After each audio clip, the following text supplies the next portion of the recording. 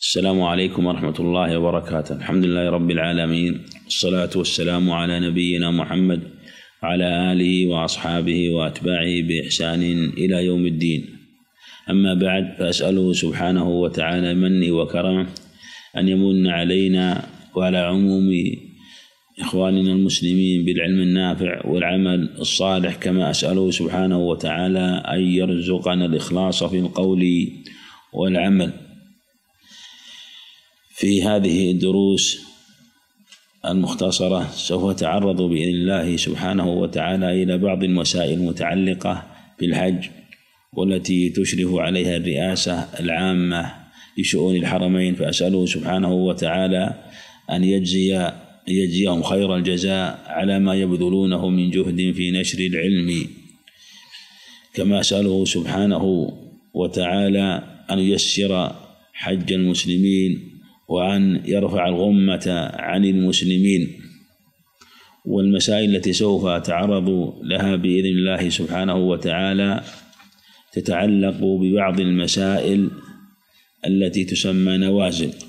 وهذه وإن كانت لا تأخذ معنى نازلة بتعريف علماء الفقه رحمة الله عليهم لأن هذه المسائل المذكورة قد تعرض لها العلم في هذا الزمان وكثير من ما يعرض في بعض المسائل أو ينزل من بعض المسائل مما وقع أو تكلم العلماء على أصله من أهل العلم المتقدمين. لكن قد يكون في جانب من جوانبه يحتاج إلى نظر وبحث. وبحمد الله سبحانه وتعالى ومنه وكرمه. أن هناك مجامع فقهية ومجالس وفي هذه البلاد آه، من المجامع الفقهية والهيئات الشرعية الشيء الكثير والخير الكثير. فهذا من فضل الله سبحانه وتعالى على هذه البلاد. وقد تعرض أهل العلم في هذه المجالس وهذه المجامع إلى كثير من النوازل التي تنزل بالمسلمين في العبادات والمعاملات وسائر ما يحتاجون إليه. وهذا يدل على عظمة هذه الشريعة وعلى شمولها لجميع الأحكام. وكل ما يأتي وينزل من أحكام فإن في الشريعة بيانه وتوضيحه بحمد الله ومنه وكرمه. كما قال سبحانه اليوم أكملت لكم دينكم وأتممت عليكم نعمتي ورضيت لكم الإسلام دينا. لكن هناك بعض المسائل ما يسمى بالنازلة وهي ما يكون واقعا ويكون أيضا جديدا وبعضهم يقيده بالشيء الشديد الشديدة إما لعمومها للمسلمين أو لأن البحث والنظر فيها يتطلب إلى اجتماع أهل العلم أو من تيسر من أهل العلم في هذه النازلة فيلحقونها بأشباهها من الأدلة والأصول والمعاني. والمعنى أن هذه النازلة لم يرد فيها نص خاص يفصل في المسألة وهذا مما يبين فضل اجتماع أهل العلم والتقاء أهل العلم. وبحمد الله سبحانه وتعالى في هذه المجامع يلتقي علماء كثير من علماء المسلمين من جميع أقطار الأرض يلتقون في مجالس وفي لقاءات ويتدارسون ويكون فيه بحوث وهذه صار فيها خير كثير وفائدة لعموم أهل العلم وطلاب العلم. ومن ذلك كثير من النوازل التي بحث أهل العلم ونظروا فيها وأصدروا فيها قرارات وبيانات. وهناك بعض المسائل التي يتعرض إليها وقد تحتاج إلى شيء من التأمل فيرجى النظر في الفصل فيها إلى وقت آخر أو مجالس أخرى. ومن ذلك من هذه المسائل ما يعرض لأهل الإسلام في الحج. ومع هذا الوباء الذي نزل بعموم الناس نسأل الله سبحانه وتعالى منه وكرمه أن يرفع الغمة عن هذه الأمة وأن يكشف هذا الداء وهذا البلاء وأن ينزل الدواء بمنه وكرمه إنه جواد كريم. من ذلك ما آه، يرشد إليه أهل الطب وكذلك يلزم به أهل الشرع في ارتداء الكمامات خاصة في بعض المحلات التي في الأماكن التي يجتمع فيها كالمساجد أو اللقاءات العارضة ونحو ذلك أخذا بالأسباب الوقائية الحسية والتي هي شرعية والتي يجب على المسلم أن يلتزم بها ودلت النصوص عليها دلت النصوص عليها في توقي أسباب الأمراض وأن هذا جاء فيه أدلة خاصة بل هي نصوص في هذه النوازل من جهة التوقي.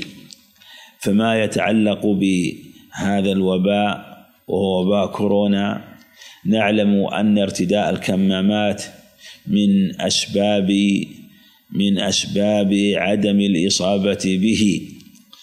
إما ممن يكون مصابا به فيحتاط أو قد يكون هو أيضا قد يصاب به وهو لم يكن ولم لم يكن عارفا بهذا الشيء ولم يكن ظاهرا عليه فيكون سببا في منع انتشاره منه إلى غيره. ونعلم أن الحاج نعلم أن الحاج عليه أن يحسر رأسه. عليه أن يحسر رأسه. لكن هل يجب عليه أن يكشف عن وجهه؟ هذه مسألة فيها خلاف. أما كشف الرأس فهذا بلا خلاف بين أهل العلم وأنه لا يجوز له يغطي رأسه. فإذا كان الإنسان مثلا في مكان فيه حجاج أو في مكان أيضا فيه مصلون لكن هنا فيما يتعلق بالحجاج فيما يتعلق بلبس الكمامة هذه هل يجوز له ذلك؟ وإذا جاز له ذلك هل يجوز مطلقا أو يجوز ولا فدية عليه؟ هذا يترتب على مسألة كما تقدم وهي هل كشف الوجه واجب أو ليس بواجب؟ في حق الحج في حق الحج هذه المسألة كما لا يخفى فيها خلاف بين أهل العلم فيها خلاف بين أهل العلم.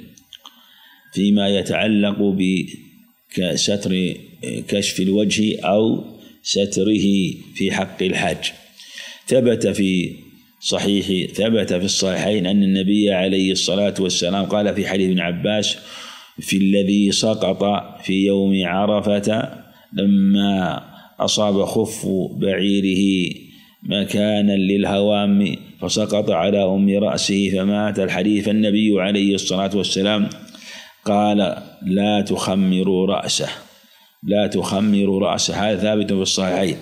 وجاء في صحيح مسلم من طرق ولا وجه. وقد اختلف في هذه الزيادة. فمن أهل العلم من أعلها لكن بالنظر إلى طرقها وتعدد رواياتها وأنها جاءت هذه الروايات محفوظة من طرق معروفة وأسانيد معروفة دل على أنها من الحديث وأنه كما لا يجوز للمحرم أن يغطي رأسه كذلك لا يجوز له أن يغطي وجهه أن يغطي وجهه. وهذا قد يكون أيضا بالنظر في حق المرأة أنه لا يجوز لها أن تستر وجهها بما صنع له. بالبرقع والنقاب كما في حديث ابن عمر في صحيح البخاري أن النبي عليه الصلاة والسلام قال ولا تنتقب المرأة ولا تلبس القفازين ولا تلبس القفازين. فهذا إذا كان في حق المرأة واجبا فإنه في حق الرجل يكون ألزم من جهة المعنى والنظر لأن المرأة مأمورة بستر وجهها وفي حال الإحرام نهيت عن لبس عن لبس ما صنع له من النقاب والبرقع. ولكن على الصحيح لكن هل لها أن تضع خمارها على وجهها؟ هذا فيه خلاف والصحيح أن لها أن تضع خمارها على وجهها. الخمار غطاء. يكون للرأس ويكون للوجه ويكون للصدر فهو لم يصنع للوجه لم يصنع للوجه. فعلم أن المرأة منهية عن ستر وجهها بما صنع له بما صنع له. لا أن تستره بما لم يصنع له. فوجه المرأة في الإحرام كبدن الرجل. كبدن الرجل. كما أن الرجل منهي أن يستر بدنه بما صنع له في حال إحرامه لكنه مأمور بتغطيته بغير ذلك مما لم يصنع له فيما يتعلق بالعورة. وكذلك أيضا في غيرها مما لا يكون مصنوعا ولهذا يلبس الرداء والإزار فوجه المرأة كبدن الرجل. في باب الإحرام. وهذا إذا كان كما تقدم أما إذا كان بما صنع له فإنها منهية عنه. ما آه، يسمى بالكمامة هذه والله أعلم. وإن كانت لا تغطي الوجه كله لكنها صنعت صنعت لجزء يسير من الوجه. فهي مخصصة له ومصنوعة له مصنوعة له. ففي هذه الحال تأخذ حكم ما يخمر به الوجه مما لا يصنع له مما لم يصنع أو تأخذ حكم ما صنع للوجه كالنقاب والقفاز. فالمسألة مبنية على هذا كما تقدم ولهذا لما كانت المسألة خلافية بين أهل العلم في هذه المسألة. من أهل العلم من قال الأصل براءة الذمة ومن أهل من قال إنه مع قوله عليه الصلاة والسلام لا تخمر وجهه ولا رأسه. لا تخمر وجه وهذا صريح في عدم تخمير الوجه. بكل ما يستر به في حق الرجل. وهذا من جهة المعنى قد يكون موافقا لأن المرأة لم تنهى عن تخمير وجهها إنما نهيت عن ستره بما صنع له.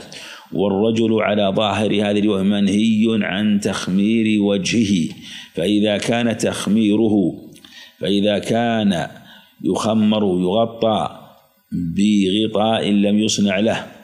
فما صنع له من باب أولى مما يكون على قدر عضو من الوجه لأنه تخمير وزيادة تخمير وزيادة. وهذا كما تقدم مناسب في حق الرجل من جهة أن كشف كشف أعلى بدنه جاءت الأدلة بالأمر به بالأمر به. ولهذا المرأة يجب عليها أن تغطي رأسها. ويجب عليها أن تغطي وجهها إذا مر بها الركبان. أما إذا كانت أما إذا كانت وحدها يعني لم تكن لم يمر لم يمر بها الركبان. في هذه الحالة كما قالت عائشة رضي الله عنها عند أبي داود كنا مع رسول الله صلى الله عليه وسلم إذا مر بنا الركبان سدلت إحدانا من جلبابها على وجهها فإذا جاوزونا كشفناه.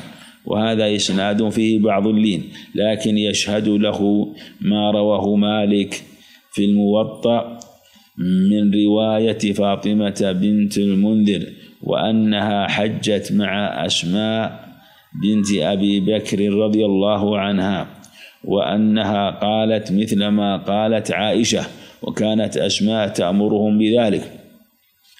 ولا شك أن عائشة رضي الله عنها وأسماء أختها وهي تكبرها بنحو عشر سنين من أعلم الناس بهدي النبي صلى الله عليه وسلم فيما يتعلق بأمر فيما يتعلق بأمر النساء وخصوصا في هذه المسألة.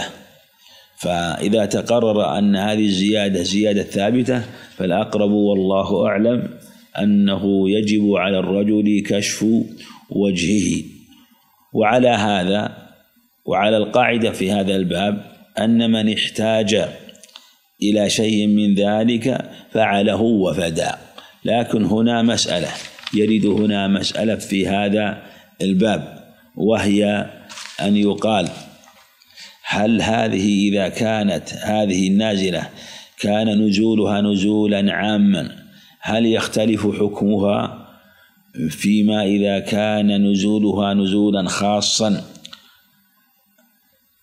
ثبت عن النبي عليه الصلاة والسلام في حديث ابن عباس أنه قال ومن لم يجد الإزار فليلبس السراويل ومن لم يجد النعلين فليلبس الخفين.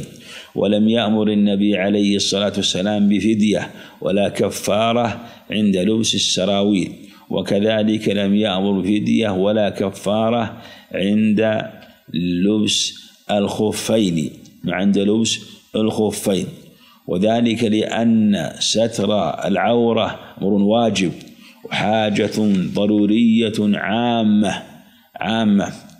فقد يقال والله أعلم أنه إذا كانت هذه هذه النازلة كنازلة عامة نازلة عامة أن يقال حكمها على هذا الوجه وأنه في هذه الحال يجوز له يترخص ولا يلزمه الفدية ولا يلزمه الفدية لعمومها لعموم نزولها.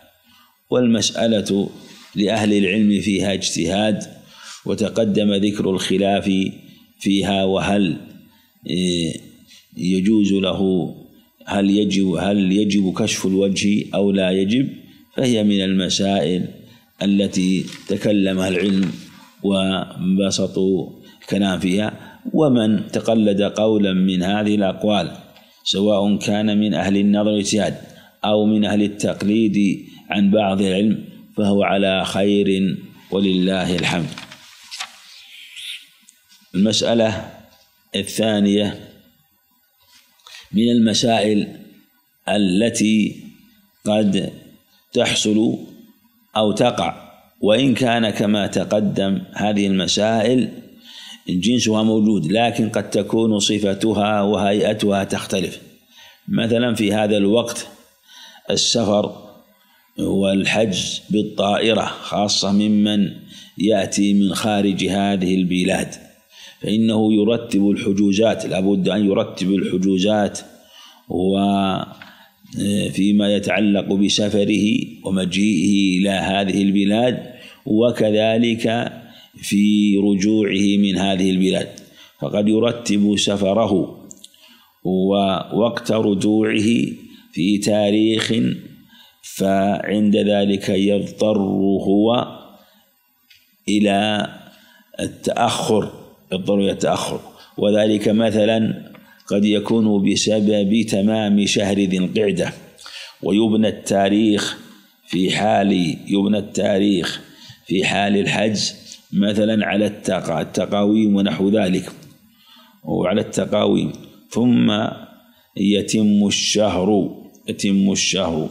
ويكون اليوم الذي كان الحج فيه موافقا لليوم الثاني عشر من آخر النهار يوافق اليوم الحادي عشر يوافق اليوم الحادي عشر لأن عرفة تأخر ثبوته أو لأن عرفة بدل يعني أن يكون في هذا اليوم كان في اليوم الذي بعده الذي كان في الظاهر عند حال الحج هو يوم النحر.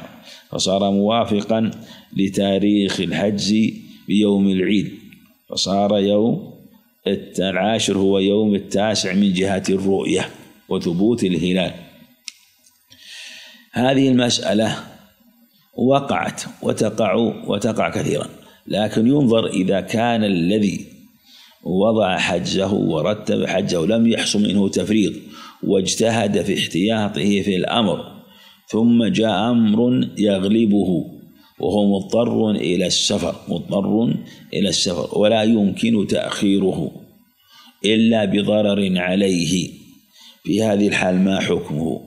هذه المسألة تكلم فيها العلم ومما وقعت أو عرضت على أهل العلم في حياة شيخنا الشيخ عبد العزيز باز رحمه الله ومما بلغني عنه ولم أسمعه منه أنه سئل عن هذه المسألة وكان بحضور بعض أهل العلم من الهيئة وغيرهم فالشيخ رحمه الله قال لمن حضر ما تقولون في هذه المسألة من جهة من يعني اضطر إلى السفر وحتى الآن بقي عليه الرمي اليوم الثاني عشر من الغد وبقي عليه المبيت ثم بعد ذلك طواف الوداع إلى فالمقصود آه، أنها عرضت فقالوا للشيخ يعني هم لم يريدوا يعني يتكلموا بحضور الشيخ فقال له من حضر من أهل العلم أريد أن نسمع ما يظهر لك فضيلة الشيخ. فالشيخ رحمه الله تأمل قليلا تأمل قليلا ثم قال لهم ما معناه يعني إنه يرى أنه لهم حكم المحصر لهم حكم المحصر. هذا يعني على ما نقل عنه رحمه الله وعلى هذا يكون عليه ذبح شاة ذبح شاة آه، إذا كان حكم حكم المحصر ويكفيه دم واحد عن الجميع يكفيه دم واحد عن الجميع عن الرمي وعن المبيت وعن كل ما يجب عليه. ومن أهل العلم في هذه المسألة من يقول إن هذا إحصار عن واجب وهذا يمكن أن يجبر بدم إذا ترتب عليه ضرر عليه في بقائه. في بقائه إلا على قول مثلا لبعض أهل العلم فيما يتعلق بتقديم الرمي. هنالك آه، قول أو قويل في بعض المذاهب وهو تجويزهم تقديم الرمي لليوم الثاني عشر في اليوم الحادي عشر في اليوم الحادي عشر بحجة أن أيام الرمي هذه أنها كلها وقت للرمي كوقت الصلاة. فكما أن أول وقت الصلاة وقت لها لو صلاها وآخر وقتها وقت لها لو صلاها فيه ووسطها كذلك قالوا كذلك.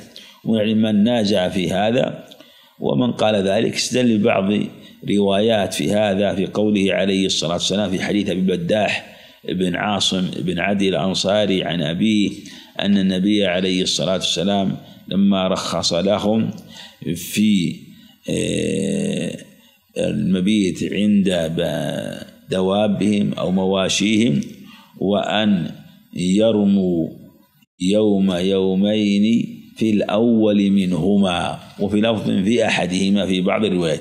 وهذا يحتاج إلى تحرير روايات حديث أبي البداح بن عاصم عن أبيه.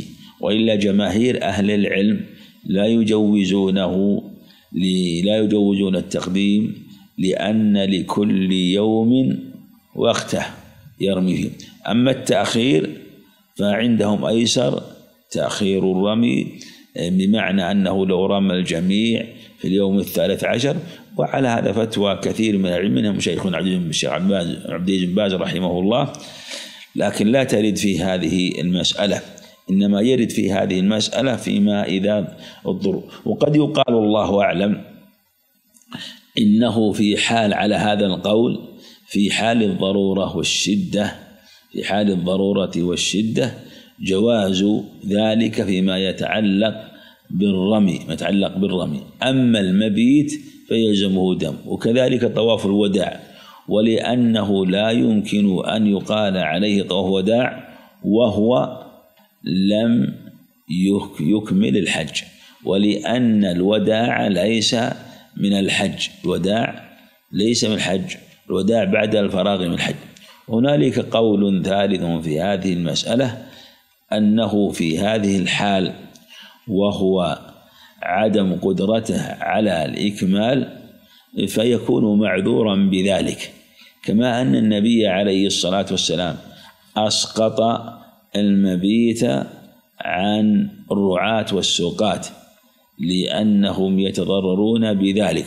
وكذلك في مثله من كان محتاجا للقيام على مريض أو نحو ذلك فإنه في هذه الحال لا شيء عليه. يعني لو ترك المبيت هذه مسائل كما تقدم مما يقع فيها الخلاف بين أهل العلم وأهل العلم يجتهدون مثل هذه المسائل وهي كأختها من المسائل التي آه، سبق الإشارة إليها أن من تكلم في مسألة واجتهد فيها بشيء من النظر والأدلة فله اجتهاده له اجتهاده وهو دائر بين الأجر والأجرين. ومن قلده أيضا هو من هذا الباب. من قلده فإنه من هذا الباب بمعنى أنه آه، يعني أنه له أن يأخذ بقوله آه، وهذا هو الواجب عليه. هنا مسألة آه، ثالثة. هنا مسألة ثالثة وهي ما يتعلق بما يتعلق بمسألة مظلة الرأس. هذه مظلة الرأس آه، هذه وقعت آه، وهي صنع آه، مظلة للرأس تشد على الرأس تشد على الرأس. مثل ما يمسكها بيده لكن هذه يسلم من مؤونة شدها ومن أيضا مؤونة المتعلقة بالخوف من كونها تؤذي أحدا بأن تكون مثل الشمسية الصغيرة التي فوق الرأس وتحيط بالرأس وبجوانبه وتكون مرتفعة عنه وتكون مرتفعة عنه. لكنها تشد بما يشبه السير أو الخيط أو نحو ذلك فتثبت على الرأس. فهذه يعني مما وقع فيها الخلاف. من أهل العلم من يرى أن حكمها حكم ما يلبس على الرأس وذلك أن ما يوضع على الرأس أو ما يظله أقسام.